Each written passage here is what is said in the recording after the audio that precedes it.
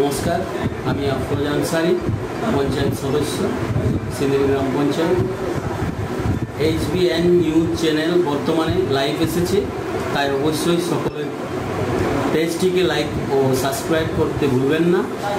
আমার তরফ থেকে এই চ্যানেলটি শুভকামনা রইল।